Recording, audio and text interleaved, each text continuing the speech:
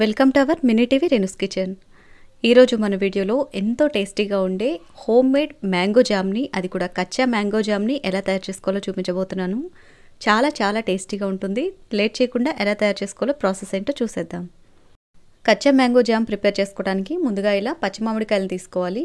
పచ్చడి మామిడికాయలు ఉంటాయి కదా కాస్త పుల్లగా ఉండేవి. అవి తీసుకున్నట్లయితే జామ్ అనేది పుల్ల పుల్లగా తీయగా చాలా బాగుంటుంది. నేను ఇక్కడ ఒక రెండు మామిడికాయల్ని ఈ విధంగా పొట్టంతా తీసేసుకుని చిన్న ముక్కలుగా కట్ చేసుకున్నాను. నెక్స్ట్ ఈ ముక్కలన్నీ కూడా మిక్సీ జార్లో వేసుకుని వీలైనంత ఫైన్ పేస్ట్ లాగా గ్రైండ్ చేసుకోవాలి. వాటర్ అనేవి కొంచెం తక్కువగానే యాడ్ చేసుకోవాలి. కొద్దిగా వాటర్ యాడ్ చేసుకుని వీలైనంత ఫైన్ పేస్ట్ లాగా ఈ ముక్కలన్నీ కూడా గ్రైండ్ చేసుకుని పెట్టుకోవాలి. తర్వాత ఈ పేస్ట్ అంతా కూడా స్టైనర్లో వేసుకుని స్పూన్ సహాయంతో మొత్తం ఈ విధంగా కలుపుకుంటూ పల్ప్ అనేది రాకుండా మెత్తటి గుజ్జు మాత్రమే వచ్చేట్టు ఈ విధంగా కలుపుకొని వడకట్టుకోవాలి. ఇక్కడ నేను యూజ్ చేస్తున్న మామిడికాయలు వచ్చేసి రసాలు. కాబట్టి పీచు పదార్థం అనేది కొంచెం ఎక్కువగా ఉంటుంది. సో వడకట్టడానికి నాకు కొంచెం టైం అనేది ఎక్కువగానే పట్టింది. అంతా కూడా ఈ విధంగా నీట్గా వడకట్టుకోవాలి. పేస్ట్ చూడండి ఎంత ప్యూర్గా ఉందో ఎంత సాఫ్ట్గా ఉందో ఈ విధంగా రావాలి. అప్పుడే మనకి జామ్కి పర్ఫెక్ట్గా ఉంటుంది. తర్వాత ఈ గుజ్జంతా కూడా కొలుచుకొని తీసుకోవాలి. ఇలా నాన్ స్టిక్ ప్యాన్లోకి కొలుచుకొని తీసుకోవాలి. నేను తీసుకున్న రెండు మామిడికాయల క్వాంటిటీకి వన్ అండ్ హాఫ్ కప్ వరకు మామిడికాయ గుజ్జు అనేది వచ్చిందండి.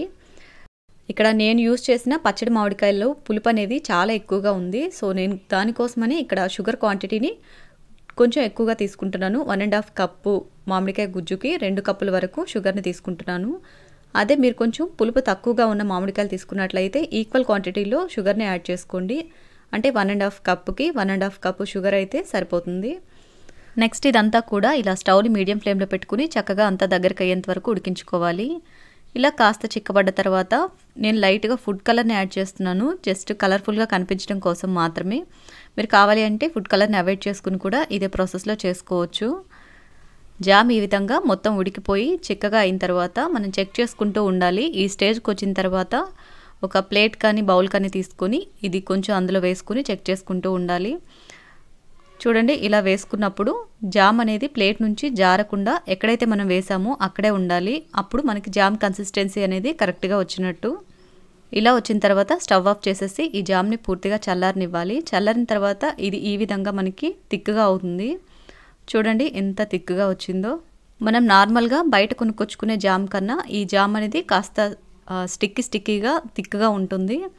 అంతా కూడా ఈ విధంగా చల్లారిన తర్వాత ఏదైనా గాజ్ సీసాలోకి తీసుకొని స్టోర్ చేసుకున్నారంటే త్రీ టు ఫోర్ మంత్స్ వరకు ఫ్రెష్గా ఉంటుంది. ఫ్రిడ్జ్లో కనుక పెట్టుకున్నట్లయితే సిక్స్ మంత్స్ వరకు కూడా మనం దీన్ని యూజ్ చేసుకోవచ్చు. నార్మల్గా అయితే మనం ఏ ఫ్రూట్స్ తోటి జామ్ ప్రిపేర్ చేసుకున్నా లాస్ట్లో లెమన్ జ్యూస్ అనేది యాడ్ చేసుకోవాలి ఎక్కువ కాలం స్టోర్ చేసుకోవడానికి బట్ ఇక్కడ మనం పుల్ల మామిడికాయలతోటి జామ్ అనేది ప్రిపేర్ చేసాం కాబట్టి దీనికి లెమన్ జ్యూస్ అనేది అవసరం లేదు. ఇక్కడ జామ్ కన్సిస్టెన్సీని మీరు గమనించవచ్చు. నేను బాటిల్కి క్యాప్ పెట్టకుండా బాటిల్ రివర్స్ చేసినప్పటికీ జామ్ కొంచెం కూడా బయటికి కారినట్టు అవ్వట్లేదు. ఈ విధంగా ప్రిపేర్ చేసుకుంటేనే మనకి జామ్ అనేది ఎక్కువ కాలం నిల్వ ఉంటుంది. చూడండి ఎంత థిక్గా ఉందో. ఈ జామ్ని నేను బ్రెడ్ మీద అప్లై చేసి చూపిస్తాను చూడండి. పుల్ల పుల్లగా తీయ తీయగా చాలా చాలా బాగుంటుంది. బ్రెడ్తోనే కాదు దోశ చపాతి దేంట్లోకైనా సరే మనం పిల్లలకి ఈ జామ్ని స్టఫ్ చేసి ఇచ్చామంటే చాలా చాలా ఇష్టంగా తింటారు. పచ్చడి పెట్టుకోవడం కోసం పుల్లటి మామిడికాయల్ని ప్రతి ఒక్కళ్ళు కూడా తెచ్చుకుంటూనే ఉంటారు. వాటిలో కొన్ని పగిలిన కాయలు కానీ కొంచెం డ్యామేజ్డ్ కాయలు కానీ ఉంటాయి కదా. వాటితోటైనా సరే మనం ఈ జామ్ని ప్రిపేర్ చేసుకోవచ్చు. మీరు ఇంట్లోకి పిల్లల కోసం చేస్తారు కాబట్టి ఫుడ్ కలర్ని అవాయిడ్ చేయండి. నేను జస్ట్ వీడియో కోసం మాత్రమే కొంచెం ఫుడ్ కలర్ యాడ్ చేసి చూపిస్తున్నాను. ఇన్ కేస్ మీరు ఫుడ్ కలర్ యూజ్ చేయకపోయినా జామ్ ఉడికిన తర్వాత మంచి డార్క్ కలర్లో చాలా బాగుంటుంది చూడటానికి కూడా. టేస్ట్ అయితే ఇక చెప్పవసరం లేదు. చాలా చాలా బాగుంది. తప్పకుండా ట్రై చేయండి. ఈ వీడియో మీద మీ ఒపీనియన్ని కామెంట్ చేయండి. వీడియో నచ్చితే లైక్ చేయండి. ఇలాంటి మరెన్నో ఇంట్రెస్టింగ్ వీడియోస్ని నా ఛానల్లో చూడాలి అనుకుంటే సబ్స్క్రైబ్ చేసుకోండి. థ్యాంక్ యూ ఫర్ వాచింగ్ మరో మంచి వీడియోతోటి మళ్ళీ కలుద్దాం.